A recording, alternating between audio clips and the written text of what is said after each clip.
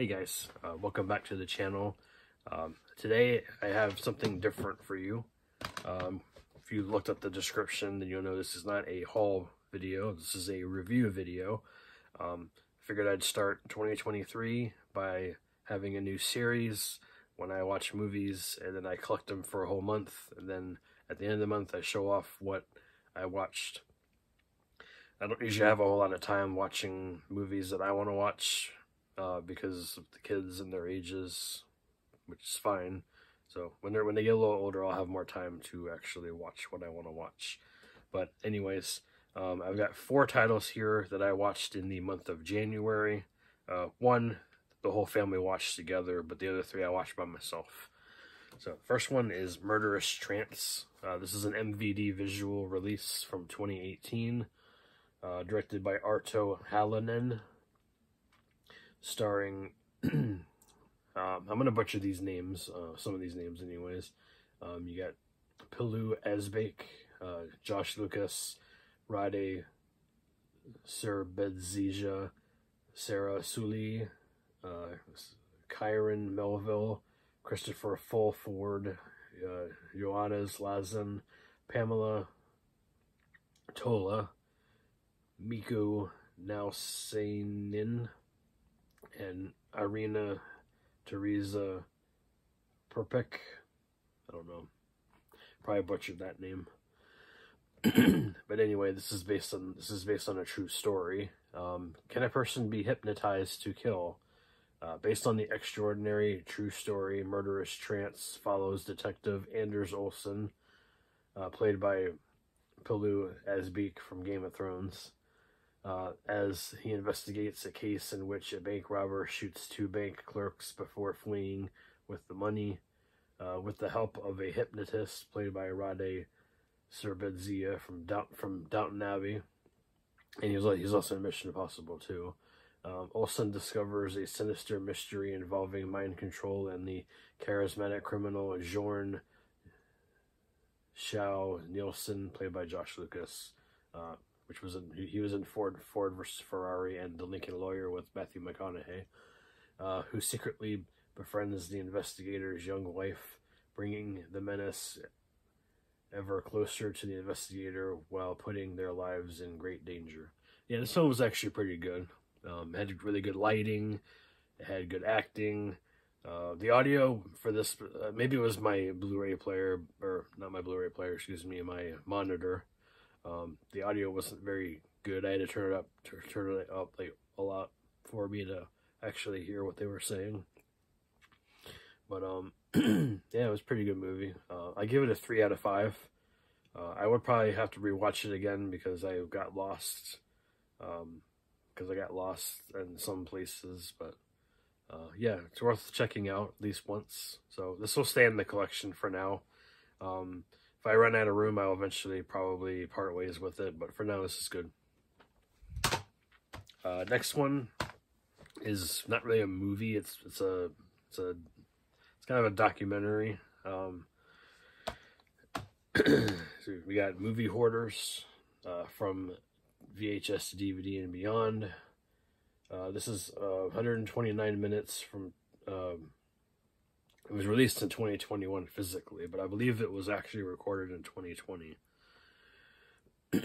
um, doesn't really doesn't say anything of who is in here at all in the back at all, but uh, this movie has a lot of uh, other of has a lot of YouTubers in it, uh, and it's also got Lloyd Kaufman from uh, Troma, uh, and a bunch of other people that I've never really heard of before, but I have met Lloyd Kaufman before once uh, up in Jersey. I went to one of the Monster Manias up there, met him. He was a pretty cool guy. Um, and then you also get Cool Duder, uh, aka Sean C. Phillips is in here. Uh, Joe Marie from Martinez Joe 74 channel is in here. Uh, Cinema Sickness, Dave, he's in here. Uh, Rick uh, from Down to Movie is in here a bunch of other people that I'm not really familiar with are in here too. Um, this movie, this documentary is pretty interesting. Um, it was edited. It was kind of it was edited kind of weird because I'm used to having like a narrator not just people being interviewed, like clips of people being interviewed.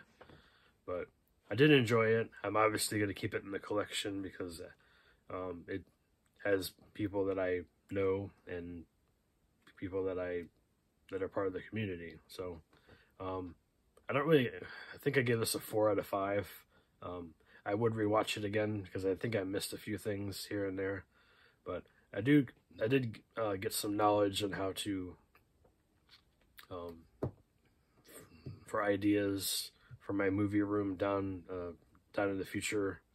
Uh, don't really have room to have a movie room in this house that we live in currently. Uh, it's a condo, so and we use this room here as the office, and then we only got two bedrooms up in the third floor, and that's my wife and I's room, and then the kids' room. So, um, maybe down the road when we actually get a real house or a townhouse with a basement, I'll have a movie room down there or whatever. But yeah, movie hoarders, check it out. All right, next one is what me and the family watched. Um, other people have shown this off. I showed it off when I first got it.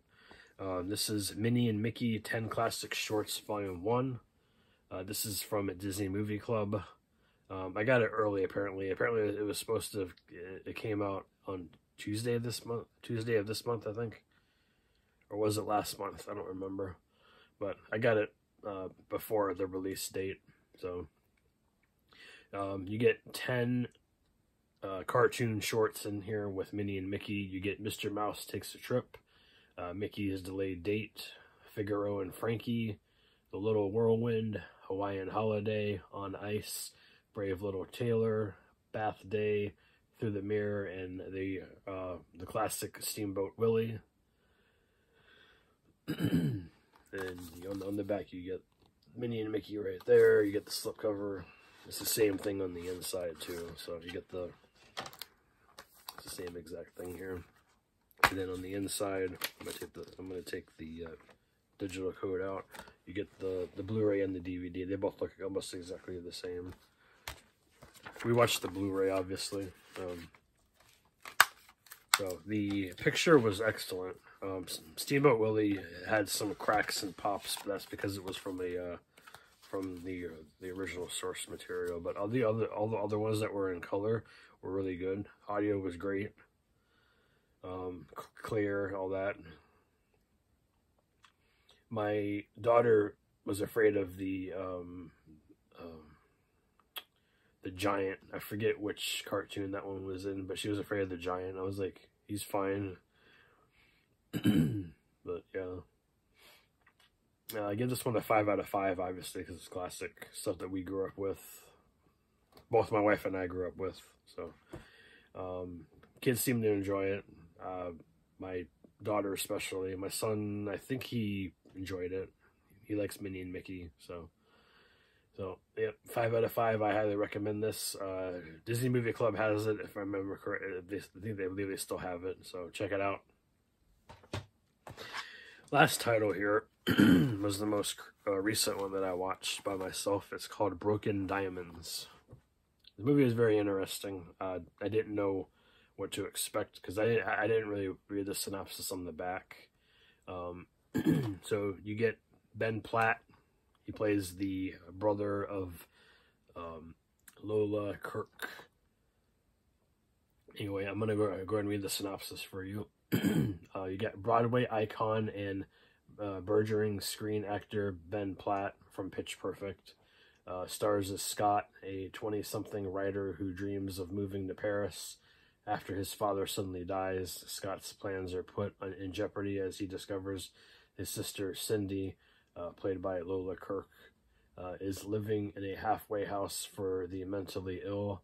Uh, desperate, uh, that not desperate, sorry. Despite her wild and, un, and, and unpredictable behavior, Scott puts his life on hold to take her in. Broken Diamonds pointedly follows these characters as they come to understand the effects of shared childhood trauma on each of their mental health, cumul- culminating in life-altering re- realizations for them both.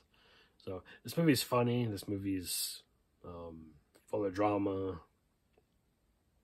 Uh, basically, she has schizophrenia, um, and she has her outbursts, and she has episodes and all that kind of stuff.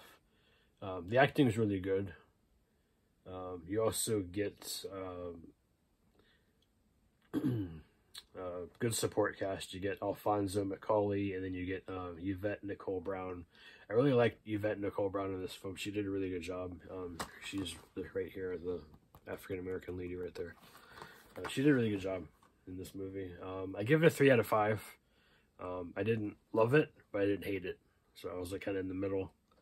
So uh, I'm gonna keep this in the collection for now. I might have my wife watch it eventually if she wants to.